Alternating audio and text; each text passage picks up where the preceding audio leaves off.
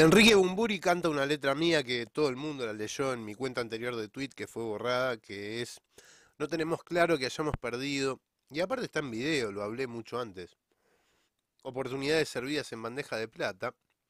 No podemos dejar todo en manos de unos idiotas.